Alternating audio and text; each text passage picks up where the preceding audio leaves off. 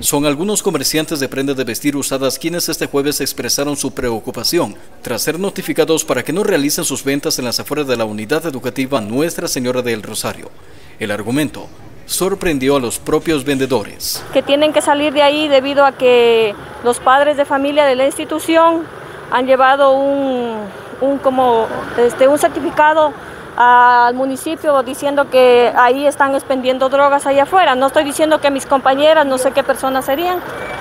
Eso es lo que me supo manifestar el, el padre de la institución. De hecho, tuve una reunión con él y él me supo manifestar que por su parte él no tenía ningún inconveniente en que vendan las señoras. De hecho, las señoras que venden en la parte de allá son personas de la tercera edad. Las denuncias señalarían que personas ajenas a las actividades llegan al lugar y se camuflan entre los vendedores de ropa para comercializar sustancias ilícitas a los alumnos.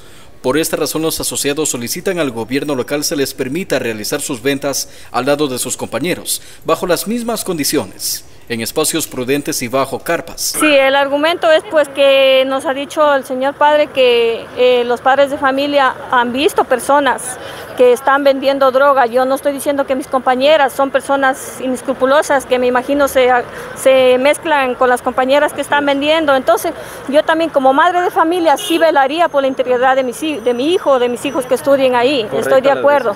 Entonces yo lo que pido más aquí es al señor alcalde que nos colabore con las carpas para las compañeras que faltan y, tratemos de llevar las cosas en calma. O sea, es estamos todavía finalizando, Dios quiera que estemos finalizando la pandemia y hagamos las cosas bien, no, no discriminando, no peleando, porque mucha gente vive de esto. Todas las personas que vendemos aquí vivimos de esto. Parte de ellos son adultos mayores y personas con enfermedades catastróficas.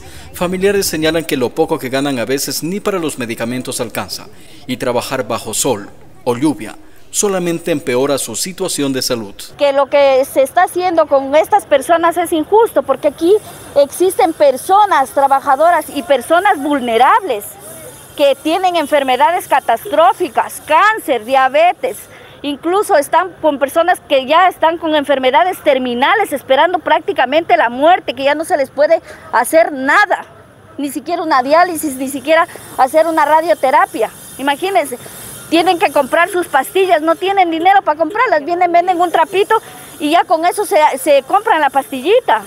Imagínense cómo puede ser injusto que nos quieran desalojar de aquí. Eso yo no lo veo bien.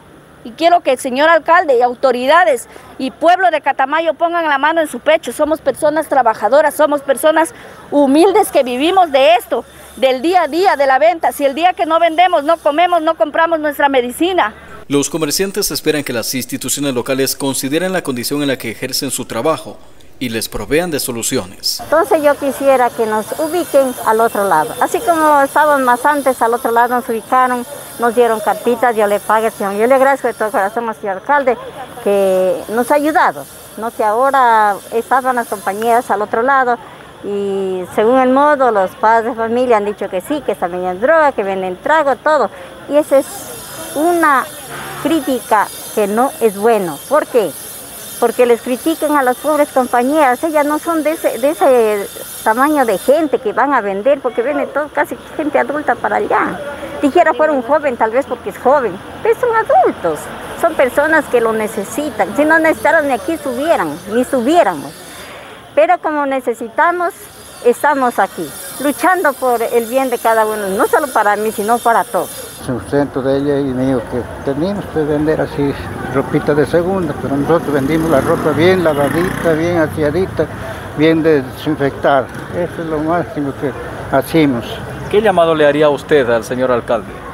Le agradecerle lo que él ha hecho por mí y le doy gracias a Dios bendito que todavía me tiene con vidita. Entonces por eso es lo que no es porque yo no he querido poner a pagar las carpas, sino que no tengo la facilidad, yo ya tengo las manos que se me desmayan, entonces peligroso que me caiga esa carpita chiquita que tengo, porque no nos da carpa todavía el señor alcalde, a que daba a dar, solo les dado a uno y a los demás no nos da. Entonces, ¿cómo hacemos? Gerardo Vivanco, Noticieros de Multicanal.